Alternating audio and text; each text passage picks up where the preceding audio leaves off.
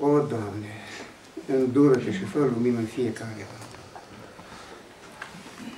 De aceea, sufletele care l-au primit cu adevărat pe Hristos, într-un cuvânt, acesta este harul.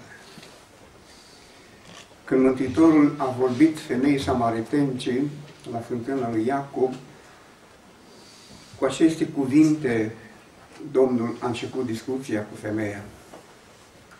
Când, ea a cerut, când el a cerut apă,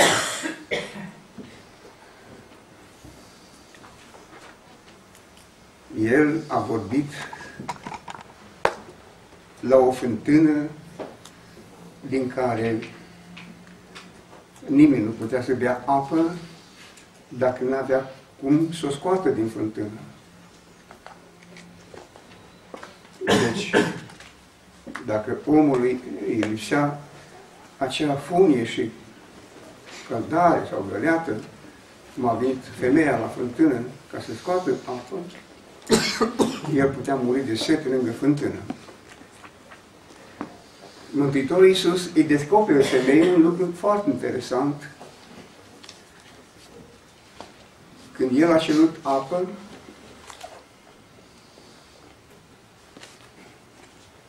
ea a răspuns, cum tu, iudeu, cer de la mine apă. Era știut că iudeii, adică evrei, nu avea nicio legătură cu samariteni. Și Domnul Isus pe dată ia cuvântul și îi spune, dacă îi cunoaște tu darul lui Dumnezeu și ce este cel ce zice dăm să beau, tu singur ai fi cerut și El ți-a fi dat apă vie. Femeia a gândit că e vorba tot de o apă, acea apă din fântana lui Iacob. Și ea îi răspunde, zice, dar cum? Când ai nici funde, nici găleată. Și Isus i-a spus un lucru. Acel lucru pe care trebuie să-l știm cu toții. Noi bem această apă vie nu dintr-o fântână făcută de vreun om, cum a fost fântâna lui Iacob, ci este vorba de acel izvor pe care Dumnezeu Tatăl ni l-a deschis și acel izvor nu e altul decât Hristos, cuvântul. El este stânca, asta simbolizează stânca din pustiu, lovită de toiagul lui Moise după porunca lui Dumnezeu, din care a pus apă. Lovirea stâncii înseamnă străpungerea coastei lui Hristos pe lemnul crucii. Străpungerea coastei era dovada morții pentru că el suferise rănile în cuire ce s-a bătut în palme și în picioare. Dar dovada morții, sulița a făcut-o, care i-a străpuns coasta și din care a pus apă și sânge. Numai o moarte dovedită de Dumnezeu printr-o ființă fără păcat a putut să aducă omului răscumpărarea. De aceea, în mărturisirea acelui care conducea toată treaba asta, răstignirea, e vorba de ofițerul roman, el a fost cel care l-a străpuns, atunci a recunoscut și a spus cu adevărat acesta a fost un om neprihănit sau Fiul lui Dumnezeu. Nu putem ști nici noi, până nu ajungem la dovada dată de Dumnezeu cât de mult ne-a iubit, cum a putut să-și jertfească pe unicul său fiu pentru păcatele noastre.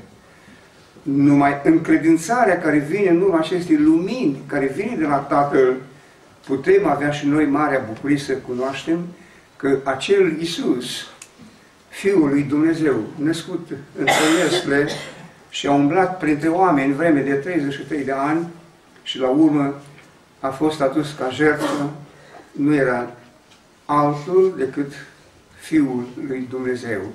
Era acel ce din totdeauna a fost pentru Dumnezeu Tatăl bucuria și desfătarea sufletului Lui.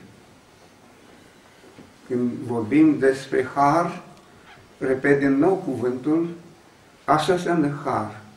Să-L cunoști pe Dumnezeu Tatăl și pe Fiul Său pe care, Iisus, pe care El Tatăl l-a trimis pentru noi.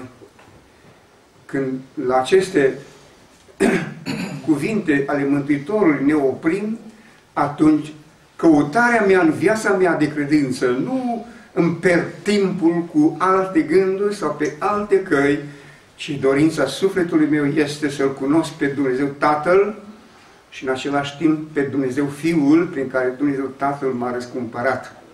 Și asta mi este de ajuns. Că viața care vorbește Scriptura, dată de Tatăl, se găsește în Hristos Iisus.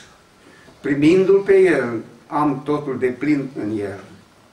Nu mai umblu din fântână în fântână, nu mai umblu de la un om la altul, ci mă opresc la acel ce din totdeauna m-a iubit cu acea iubire veșnică.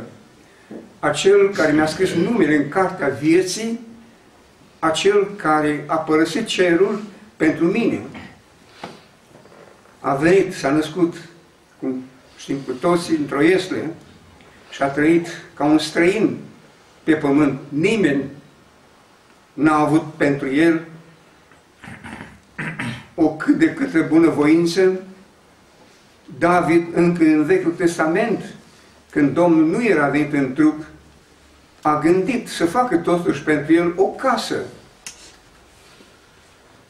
Și David a încercat. Dar Domnul i-a spus, nu. Am locuit vreme de 40 de ani din cort în cort cu voi.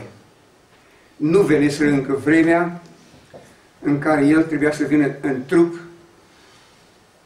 ci doar vorbea prin Duhul, le vorbea așa ca ei să poată să înțeleagă că Dumnezeu este Dumnezeul lui Israel, care în curând va veni și va lua un trup, cum Isaia prorocul încă cu 700 de ani înainte a spus.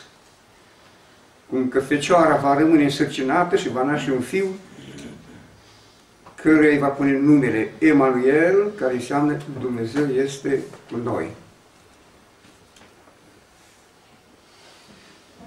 Repet din nou, pe vremea lui David, cu sute de ani înainte de a veni el pe pământ ca om, s-a gândit să-i facă o casă.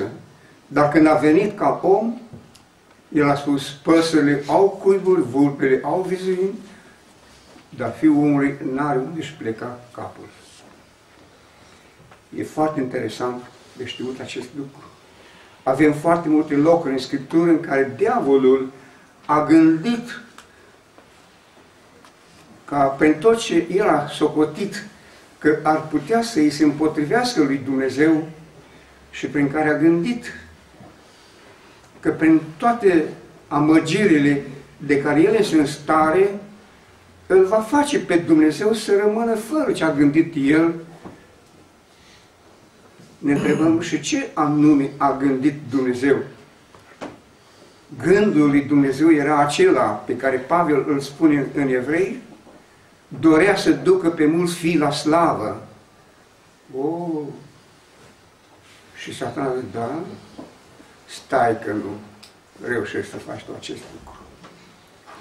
Aș veni cu câteva gânduri ca să vedeți ce înseamnă diavolul.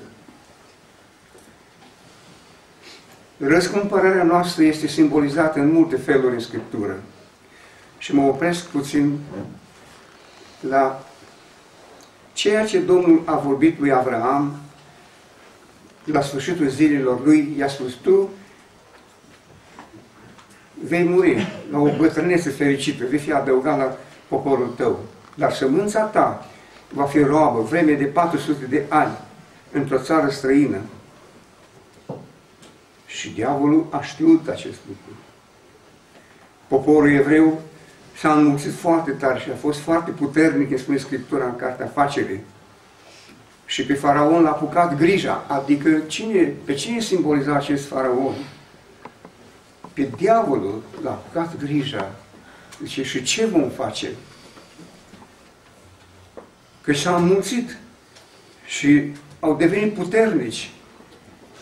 Dacă se întâmplă un război, ei se vor a lipit de vrăjmașii noștri și vor ieși din țară. Interesant. Grija care era? Că îi va pierde pe evrei ca robi, cum îi ținea în Egipt. Deci și vor ieși din țară. Interesant este când în viața unui om apare gânduri de pocăință, pe dată satana, vai, să nu-l pierd. Doamne, cunoaștem noi aceste gânduri diabolice care se vede în viața fiecăruia când noi căutăm pe Domnul, când în sufletele noastre încolțește dorința să-L cunosc pe Dumnezeu și îndată îl văd pe satana că ciulește urechea. Ăsta caută pe Dumnezeu.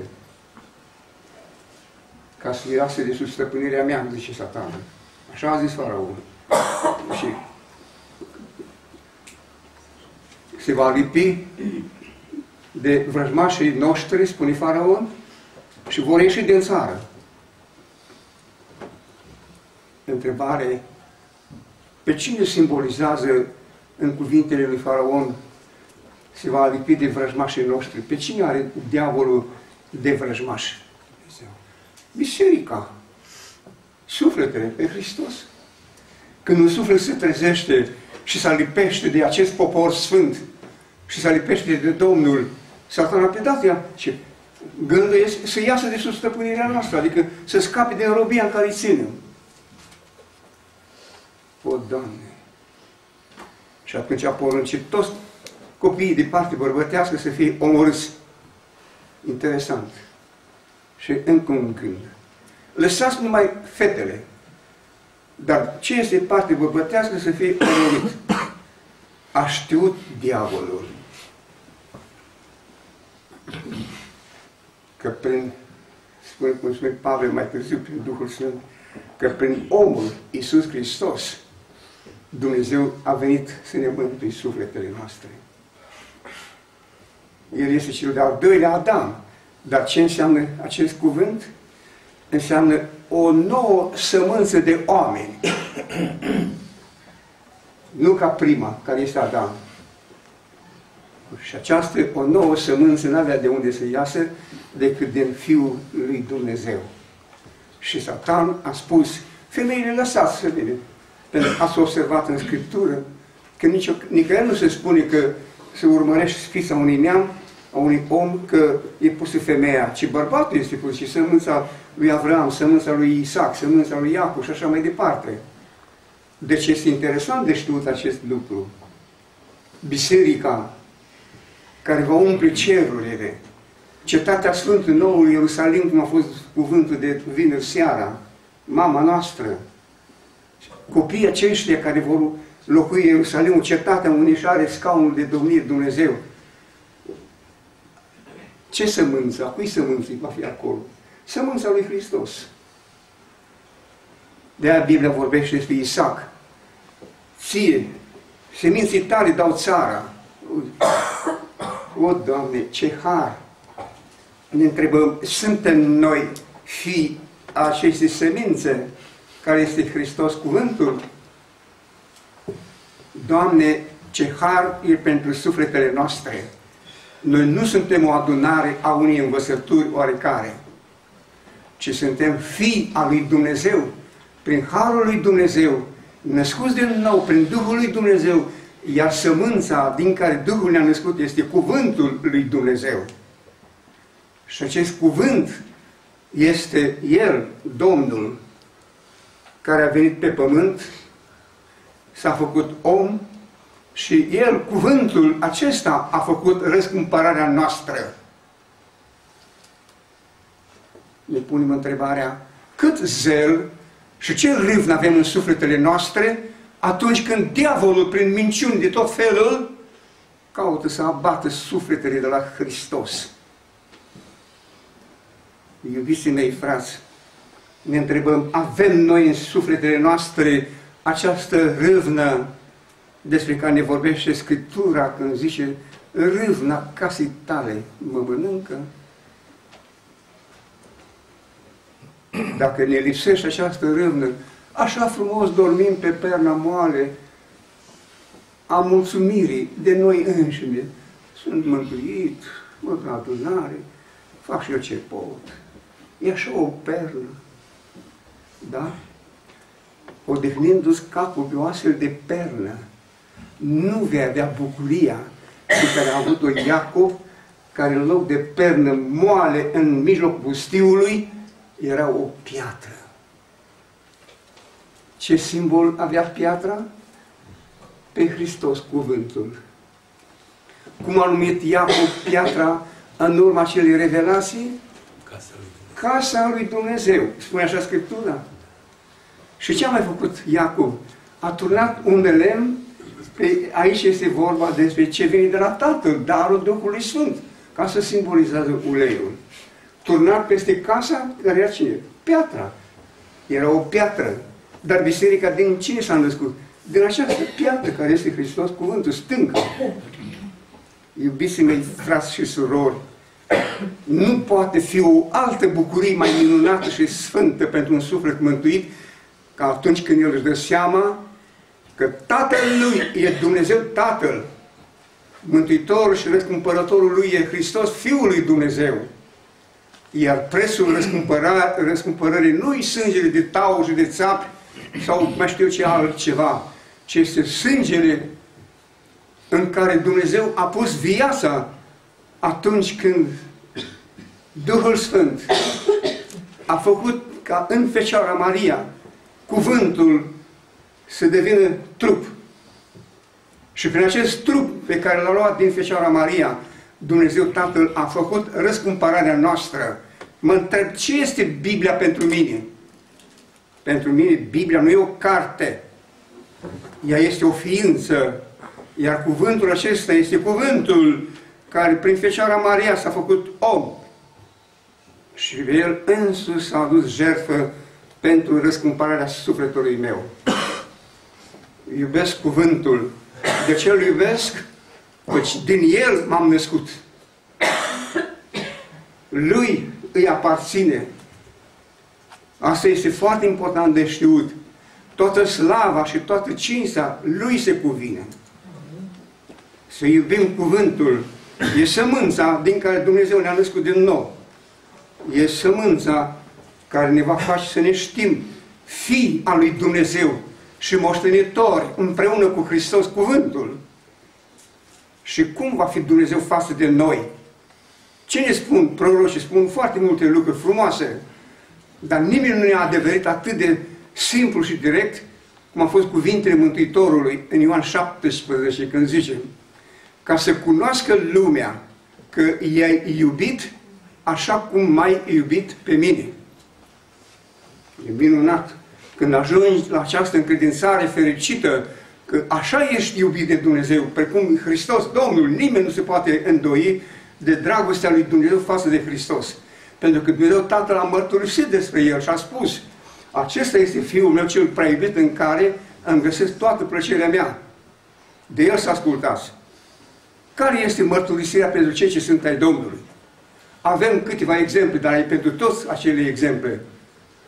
Ce a mărturisit Domnul despre Daniel? Încă nu venise acest har. Cel trimis îngerul, cum l-a numit pe Daniel? Om scump și prea iubit. De unde auziseră îngerul despre Daniel? E așa de scump și e așa de prea iubit. De la Dumnezeu. Era îngerul care mai târziu, același înger, aduce o veste bună lui Zaharia, tatălui Ioan Botezătorul, că nevasta va rămâne sărcinată și va avea un fiu. Și ăsta zice, și era preot, care trebuia să știe mai mult decât ce a știut Daniel. Ce a spus Zaharia? Prin ce semn anume voi cunoaște că ce spui, așa va fi. Și am zis, și bine. Îngerul spune, eu stau înaintea lui Dumnezeu. Evanghelia care se vestește într-o biserică de acele suflete care și care Pavel mărturisește, noi vorbim cuvintele lui Dumnezeu din partea lui Dumnezeu înaintea lui Dumnezeu. un astfel de martor, astfel de cuvinte sunt vrednice de crezut. Și îngerul îi spune lui Zaharia, eu stau înaintea lui Dumnezeu, deci nu pot să vorbesc de la mine ceva că vreau eu. Eu să duc cuvintele lui Dumnezeu. Nu așa însă s-a întâmplat cu Fecioara Maria. Când îngerul i-a vestit acel har, că Dumnezeu, în îndurarea lui, cum îi spune îngerul, bucură-te că ți s-a făcut mare har. Când un om are parte de mântuire, înseamnă un mare har. Și când ți se vestește Evanghelia, dă slavă lui Dumnezeu. Nu te îndoi ca Zaharia să cer semne. Că sunt mulți care caută pe Dumnezeu cu semne. Și pe acolo se vorbește în limba, cum se face minuni. Nu minunile și nu semnele acestea, să le caută pe El. Vezi, îl, vezi pe El, îl cunoște, bucur tu de El. Ai tu credința care a avut-o Fecioara. Când i s-a adus vestea că ea va naște, un singur cuvânt a spus, bine, era nelămurită, dar a lămurit-o înger, zice, cum se va face? Apoi, când a auzit lămurirea, în ce fel va lua ființă pruncul în pântecele ei, ea a spus încă un cuvânt. Facă-mi se după cuvintele tale. Interesant este. Haideți, vă rog, ca să vedem ce înseamnă acest cuvânt al Fecioarei. Facă-mi se după cuvintele tale. Suntem învinuiți de foarte mulți, de, bineînțeles, nu de copiii lui Dumnezeu, de acei așa ziși creștini care se laudă cu faptele lor. Și pe noi ne învinuiește că noi nu facem fapte să fim mântuiți. Interesant.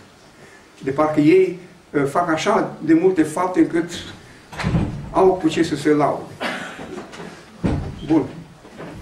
Facă-mi se după cuvintele tale. Ce spune credința care vine în urma acestei descoperiri a Harului lui Dumnezeu în viața noastră? Ce era pentru Fecioara Maria vestea care i s-a adus? Cum că Dumnezeu Tatăl avea să facă un lucru nemai auzit. O fecioară să rămână sărcinată și să aducă pe lume un fiu. O minune ca asta nu s-a mai întâmplat nici până la ea și nici de la ea. A fost singura minune.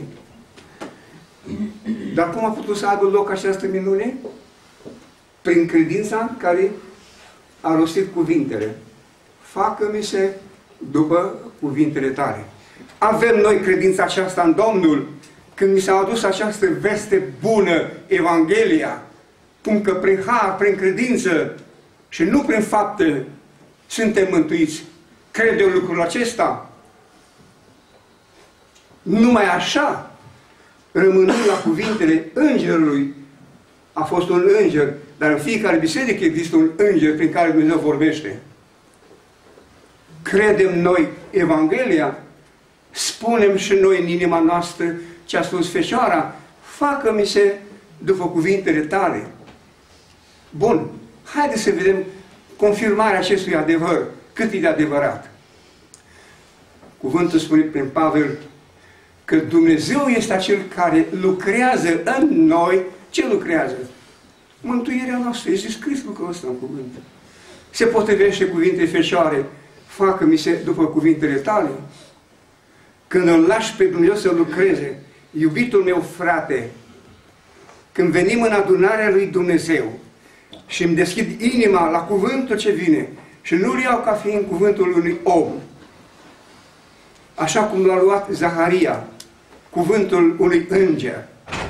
Și a fost de ajuns pentru Zaharia să rămână mut. De ce a rămas de ajuns să rămână mut? Pentru că n-a crezut că cuvintele care le-a adus îngerul erau cuvintele lui Dumnezeu și nu ale îngerului. Observați? Diavolul este cel care pune omului în gând, îi sucește mintea în așa fel încât să vadă că nu Dumnezeu, ci omul e mai deștept, e mai pregătit, mai fel și fel de gânduri. Deci, eu îmi văd de treaba mea. Vezi de treaba ta. Dar ai să ajungi acolo unde acel care ți-a sucit mintea. Și atunci ai să-ți deschizi ochii mari degeaba. S-a dus timpul în care puteai să fii mântuit. Și rămâi mut. Mut înseamnă, Domnul vorbește într-un loc ucenicilor, și voi ați fost rânduiți să aduceți multă roadă. Pe roada se aduce prin mărturisirea, așa este și scris în cuvânt, cu gura. Când citim în cuvânt, în Apocalips, ei l-au biruit prin sângele melului, prin cuvântul mărturisirii lor și nu și-au iubit viața până la moarte. Eu aș întreba pe cei care se laudă cu faptele lor. Știu ei ce înseamnă cuvântul de la urmă, acel verset din Apocalips, și nu și-au iubit viața până la moarte. Nu e vorba numai de momentul în care să zicem că pentru credința ta ești condamnat la moarte, ci este vorba de o viață închinată lui Dumnezeu, căci un creștin zilnic în sufletul și în viața lui, tot ce este vechi, tot ce aparține firii, zilnic moare, moare. Iar la urma urmei, moare dacă este cazul ca un martir pentru cauza lui Hristos. Ne punem întrebarea, galatenii care suceau mintea celor din Galatia, că nu ce spune Pavel e atât de adevărat, ce țineți legea lui Moise, de, și a început ăștia cu palavrageala lor, cu fel și fel de date și povești. Și ce spune Pavel la urmă de toată bolboroseala asta? Să știți, voi care vreți să fiți socotiți nepreveniți prin faptele legii, sunteți datori să împliniți toată legea. Toată legea, dar vine întrebarea, dar cine a fost pe pământul ăsta vreun om care să împlinească toată legea? Biblia spune că nimeni nu va fi socotit neprevenit prin faptele legii. Și uitați cum satana se folosește și spune, nu, vrei să fim, uite, e legea, spune, caută și înfânează-te și pune, nu mânca care, nu fă tare, ă, mai dă jos, pune o roche lungă până în pământ, o căciulă, o barbă, cât e mine. Și omul zice, da, bă, făcând toate astea, eu sunt mântuit. Ți-ai pus întrebarea de unde vin toate astea? Cu ce gând sunt toate astea? Să te abată de la credința în ce a făcut Dumnezeu pentru noi. Iar ceea ce a făcut Dumnezeu pentru noi este vorba de prețul dat de Dumnezeu pentru răscumpărarea noastră. Căci prin numele Lui Isus, când Domnul a vorbit de iertarea păcatelor, după înviere, a spus ucenicilor, duceți-vă și mărturisiți Evanghelia și arătați-le oamenilor că în numele Lui Isus aveți iertarea păcatelor. În numele Lui Isus, nu în numele vieții mele de om, că sunt mai bun decât altul, Dumnezeu mi iartă păcatele. Adică Tatăl are în vedere viața lui Isus, are în vedere jertfa lui Isus. De ce toate astea? Însă și Isus a spus pentru sfințirea noastră și și eu însumi mă sfințesc pentru ei, ca ei să fie sfinți prin adevăr. Repet un cuvânt înainte de rugăciune. Să fie sfinți prin adevăr. Notați încă o dată, repet. Adevăr nu înseamnă numai ce a făcut Dumnezeu pentru mine adevăr mai înseamnă și ce am făcut eu ca om până la întâlnirea cu Hristos. Sau încă mai și fac chiar și acum. Și când toate astea le știu din Sfintele Scripturi, mie nu rămâne decât să-mi plec capul și să dau slavă lui Dumnezeu pentru acest har care este îndurare, este iubire, este milă, este bunăvoința lui Dumnezeu. O, Doamne, ce har să te poți bucura de așa o viață cu Dumnezeu. Să-L cunoști pe El, să te bucuri de El și să vezi că în El, cum spune Scriptura, toate izvoarele noastre sunt în Dumnezeu. Așa spune Scriptura. Și noi umblăm aiurea, tot, tot după unul, tot după altul, mai ca o oaie rătăcită, fără păstor. Doamne, Doamne, îndreaptă-ne, te rog, privirile spre Tine, spre ce ai făcut Tu și spre ce poți să faci numai Tu în viața noastră. Să pot să spun și eu ca prorocul, mântuiește-mă Tu, Doamne, și voi fi mântuit. Căci fără această putere și fără această dragoste a lui Dumnezeu, omul nu poate prin el însuși să ajungă la acest har, la această stare fericită de a fi mântuit. De aceea, iubiții mei, frați și surori, să-L iubim pe Domnul, să nu căutăm la părerile cuiva la gânduri și lucruri care sunt în afara Scripturii. Să nu ne pomenim ca Zaharia, tot semne să cerem și tot fapte la cei care vin și ne vestesc Evanghelia. Nu. Însăși Mântuitorul a avut în vedere amăgirile satanei și a spus un lucru. Ferici de acel ce nu va găsi în mine un prilej de poticnire. Spune așa Scriptura. Dacă, dacă diavolul poate pune în mintea cuiva, chiar că și Isus are anumite lucruri la care trebuie să te oprești, nu chiar trebuie să crezi tot. O spune Mântuitorul. și precinile de potrivire vin tocmai din încredințarea cum că omul care se găsește cuvântul vede el ceva ce nu-i convins și e de ajuns acel ceva în inima unui om nu decât un cui al lui prepelea. Dacă lași un gând al firii, un gând ce vine din altă parte, nu din Dumnezeu, notează bine când nici nu te aștepți. Satan își va folosi cuiul care și-l-a lăsat în inima ta și își va atârna zdreanța lui, care nu-ți va aduce decât rușine. Așa a fost casa care a fost cumpărată, gătită frumos, liniștită, împodobită, dar când omul care a vândut-o și cel care a cumpărat s-au înțeles un singur lucru. Cel care a, a vândut a spus și bine, îți vând toată casa, dar un cui mi-l lași mie, ăla să fie al meu. Ce un cui într-o casă? Era un cui, am găsat în perete și, și se pomenește omul cu dihania la poartă și zice, dă voie. Dar zice, ce cu tine? La văzut așa cum i-a arătat o, o secătură? Păi zice, am și eu în casa ta un cui care este al meu. Era prevăzut în act. Și omul nu a avut încotul, dacă era în act, și a dat voie. Și în casa lui împodobită frumos, își atârnă dracul zdreanța lui. Plină de mirosul ăla urât de porc. Hmm? Ce părere aveți? Este o rușine sau nu? Ce poate aduce păcatul în viața noastră? Rușine. Doamne, Doamne, îndură-te, te rog de noi numai sângele Mântuitorului, numai Harul Tatălui ne poate aduce la o viață așa cum El ne dorește.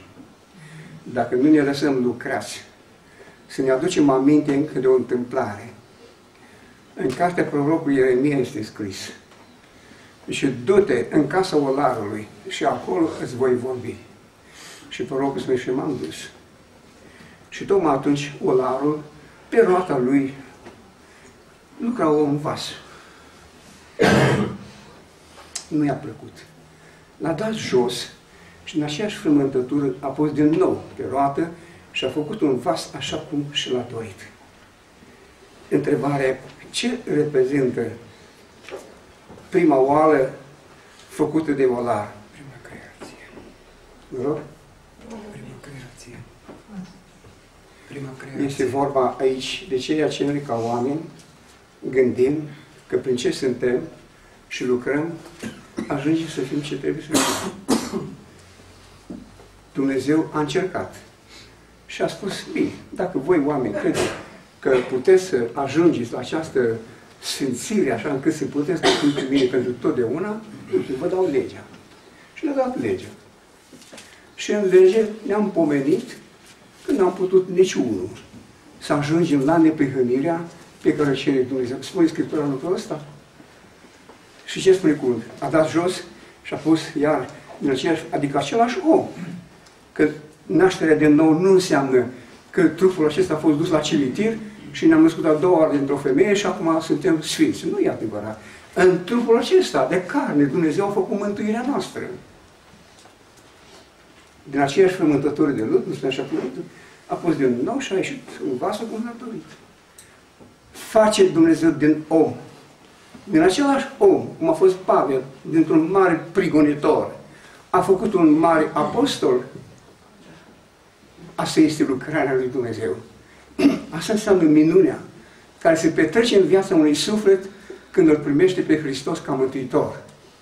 Dintr-un vrăjmaș, dintr-un păcătos, dintr-un Magdalena, ai bucuria să devii o sfântă și să ai bucuria să vezi din tine, care te socotești cea mai păcătoasă dintre toți, ai marea bucurie să ți se arate ție întâi Hristos Domnul, cum a fost cazul cu Magdalena.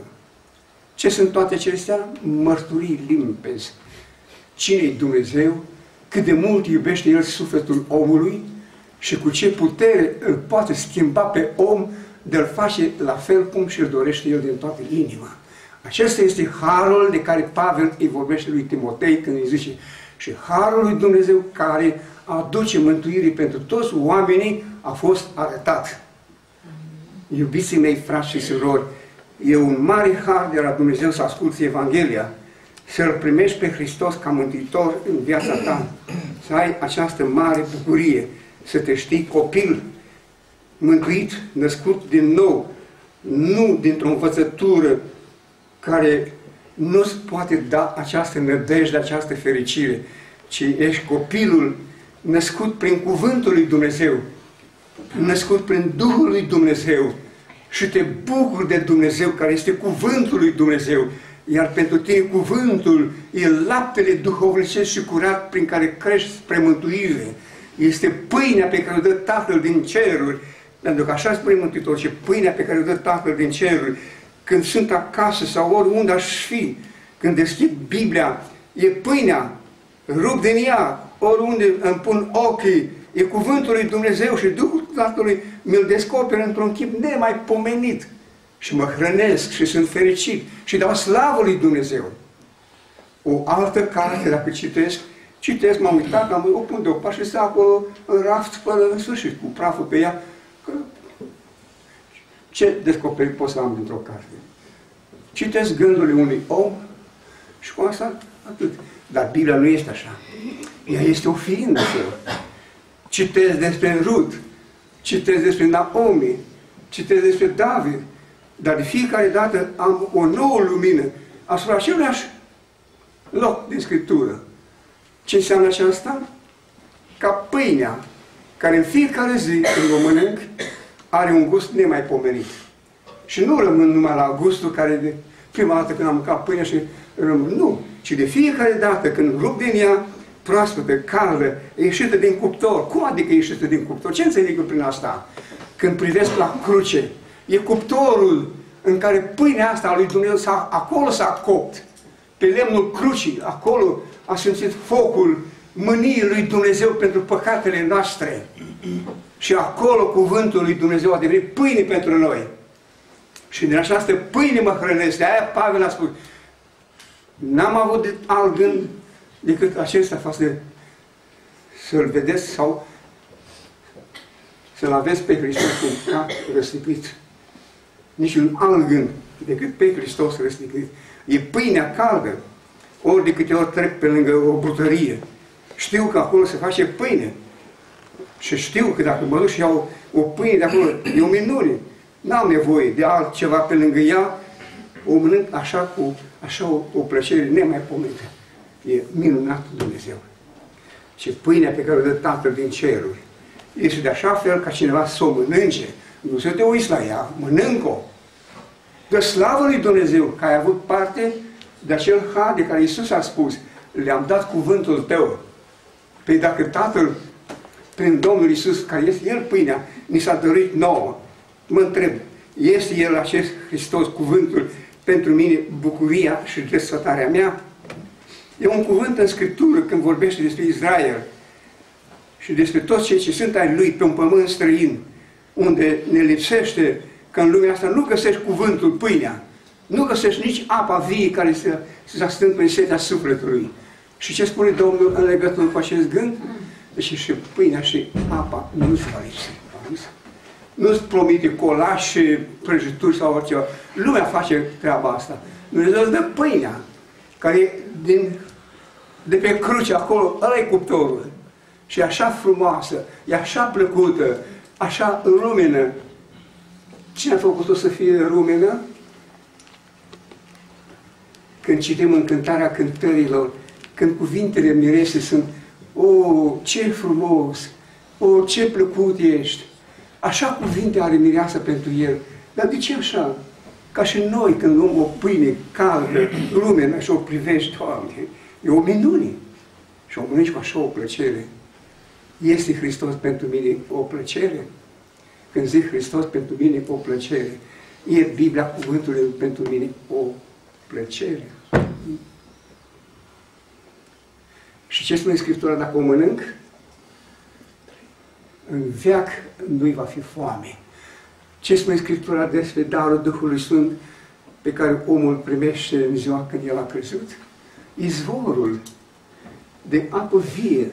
De unde vine? Tot în El, tot în Hristos. Că El e stânga. Și această stângă despre Israel se spune, pentru cei necredincioși pare un cuvânt așa spus fără rost. Și și stânca venea după ei. Cum mai putea crede că în pustiu muntele din care a pus apă venea după Israel? Puteți crede lucrul acesta? Pe cum să crezi? Sinaiul, unde a fost dată legea, acolo a fost de când îl știm și tot acolo a rămas și după ce a fost dată legea. Dar cum putem să pricepem cuvintele lui Pavel că și stânca din care beau ei apă era, ce spune mai departe? Hristos. Mai tare, soară. Hristos. Auziți? Și stânca era Hristos. Cum înțelegem acest lucru? Haideți, vă rog.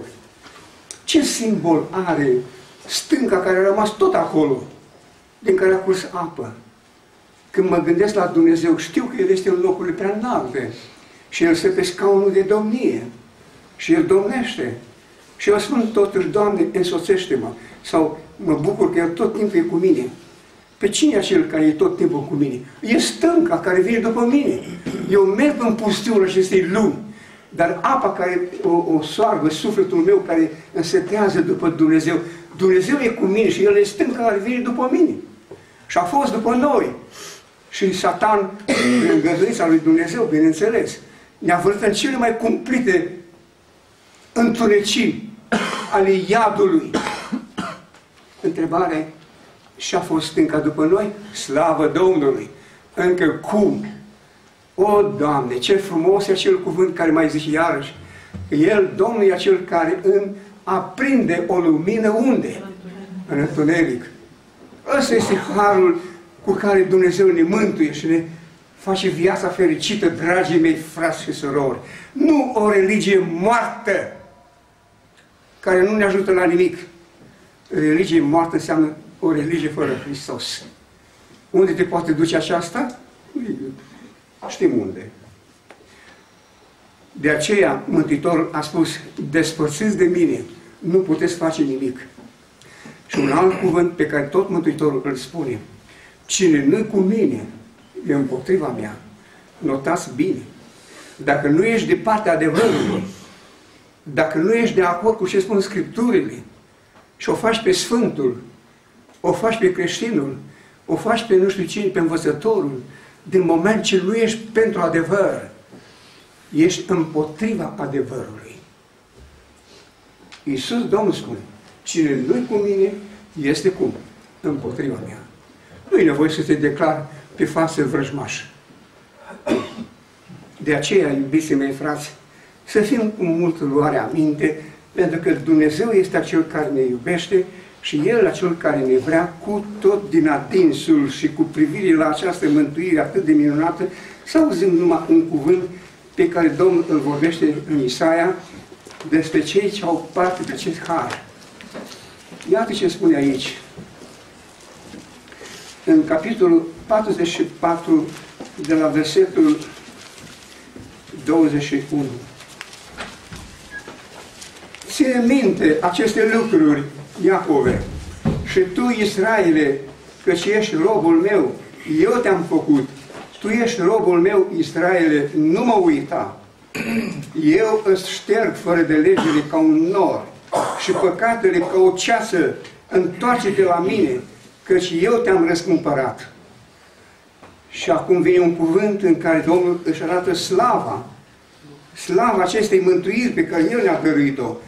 Bucurați-vă ceruri, căci Domnul a lucrat.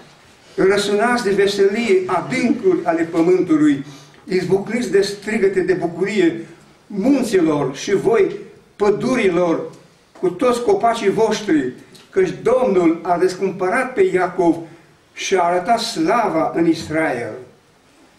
Așa vorbește Domnul, răscumpărătorul tău, cel ce te-a întocmit din pântecele mamei tale, adunare e pântecele mamei în care Dumnezeu ne-a zămislit. Eu, Domnul, am făcut toate aceste lucruri. Eu singur am desfășurat cerurile. Eu am întins pământul. Cine era cu mine? Auzim cuvântul ce înseamnă acest har de care noi ne bucurăm, cum Domnul cheamă întreaga natură, tot universul să se bucure. Ce are El în vedere? Bucuria copiilor Lui. În ce constă? În răscumpărarea de care ne bucurăm prin sângele melului. O, Doamne, ne întrebăm iarăși de nou, cât suntem noi de recunoscători Domnului? Ne tot pomenim mereu în acel duh de necredință, de îndoială, de a ne tot întreba, oare ăsta ce spune, cum o fi? Vă rog foarte mult să nu cumva să ne pomenim în Duhul lui Saul, care a devenit vrăjmașul lui David, în loc să se fi bucurat că a câștigat războiul datorită lui David prin uciderea lui Goliat, acest om fără minte, deși spun așa de apăsat acest lucru, invidia, neascultarea, mândria că ești tu împărat când părăsești, e o prostie, dragă. Recunoaște adevărul. Căci dacă Saul ar fi recunoscut adevărul că datorită lui David au câștigat bătălia, în loc să se fi bucurat când a văzut cum femeile l-a plinit cu atâta slavă, când a dat, așa cum spune Scriptura, lui David i-a dat miile, iar lui Saul sutele. Și la asta nu i-a căzut bine. Păi cum să-i cadă bine, firii pământești? Orice faptă și orice lucru care vine de la Dumnezeu pentru omul firesc e ceva care uite așa încălește din nas. Și nu ascultă. Și ce s-a întâmplat cu Saul? Un dușman de moarte a devenit lui David. Am mai avut aici și acolo că Domnul care era cu David a mai avut ocazia să vadă că într-adevăr David este un copil al lui Dumnezeu și își mai cerea și iertare, dar după ce iar din nou revenea la starea lui nenorocită. Mă întreb oare nu cumva și cu noi se poate întâmpla asemenea lucruri cu cei din jurul nostru care Dumnezeu prin ei lucrează și în loc să mă bucur, să dau slavă lui Dumnezeu, încep să-L tot cântăresc mereu și tot să-L să măsor și să-L văd cam ce face, cam cum face, cam... și tot cu gândul de scoadă în el să văd și să văd. Ce să vezi? E un om ca oricare. Dar comoara care este în el e Hristos, cuvântul. Te interesează comoara sau te uiți la pământ, totul scormolești pe o parte și pe alta? Nu știu cât mă puteți înțelege. Spun aceste lucruri, dragii mei, ca niciun suflet care este în adunarea aceasta să nu rămână afară, dragă. Nu eu sunt acel care doresc acest lucru, să știți. E Domnul care este în mijlocul nostru și El s-a jurat și a spus, pe viața mea mă jur, zice Domnul, că eu nu doresc moartea păcătosului. Un ultim cuvânt și încheiem. Iată ce spune Apostolul Pavel.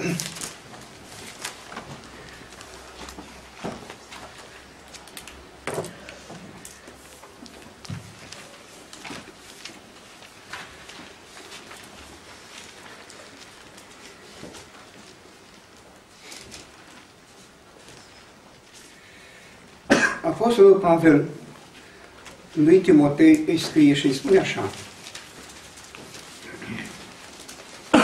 Îl privea pe Timotei cu așa bucurie și îi spune Îmi aduc aminte de credința ta neprefăcută, care s-a săvârșit întâi în bunica ta, Lois, și în mama ta, Eunice. Și sunt încredințat, spune Pavel, că și în tine. De aceea, Îți aduc aminte, spune lui Timotei, să înflăcărezi darul lui Dumnezeu care este în tine prin punerea mâinilor mele.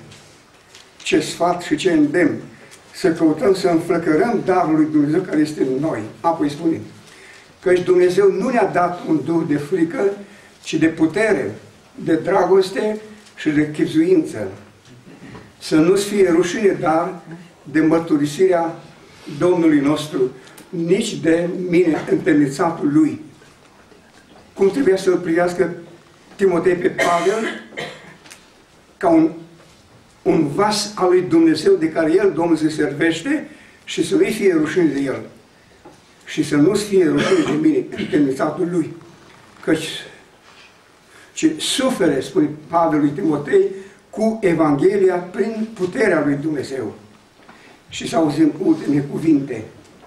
El ne-a mântuit și ne-a dat o chemare sfântă, nu pentru faptele noastre, ci după hotărârea Lui și după harul care ne-a fost dat în Hristos Iisus în, din veșnicie, dar care a fost descoperit acum prin arătarea Mântuitorului nostru Iisus Hristos, care a nimicit moartea și a adus la lumină viața și neputrezirea prin Evanghelie, spune Apostolul Pavel.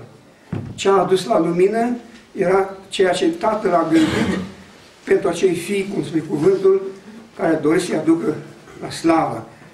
Să nimicească prin moartea lui păcatul și moartea și să aducă la lumină viața și neputrezirea, neprihănirea lui Dumnezeu. Aceasta este Evanghelia prin care avem încredere în Dumnezeu că El ne-a dat-o și îl rugăm pe Domnul care, potrivit descoperirilor de care ne bucurăm, să ne dea și puterea de voință, puterea de credință, să ne încadrăm în așa fel în cuvintele Scripturii, încât să spune și noi ca Pavel, trăiesc, dar nu mai trăiesc eu, ci Hristos trăiește în mine. A Lui să fie slava aici în toată veșnicia. Amin. Amin.